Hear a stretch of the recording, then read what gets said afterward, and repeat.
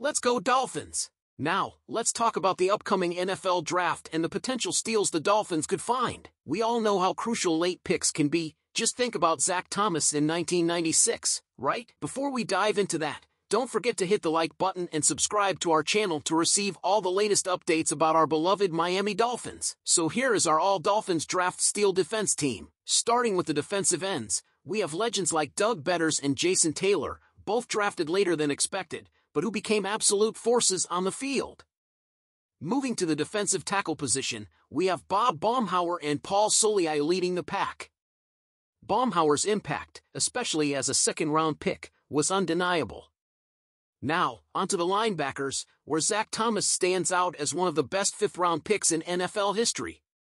Joined by Brian Cox and Mike Kolen, these linebackers brought heat and left their mark on the field.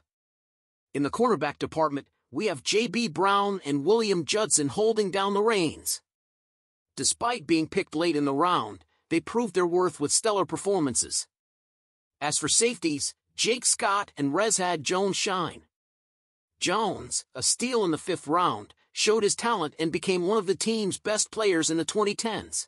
And let's not forget our kicking experts, Brandon Fields and Jason Sanders, both drafted in the seventh round, proved to be game changers for the team. Now, Dolphins fans, what do you think of our All Dolphins draft steal defense team? Who is your favorite steal of the draft?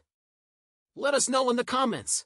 And as always, show your support by liking this video and subscribing to our channel for more exciting Dolphins content. Fins up!